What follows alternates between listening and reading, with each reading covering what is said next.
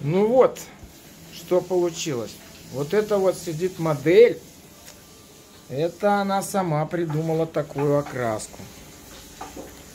Молодец. Сейчас расскажу про окраску.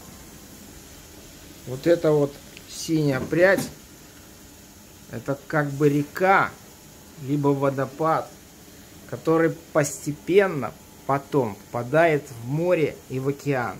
Мы сделали специально три оттенка синего. Здесь добавили оттенков как бы морских и океанических.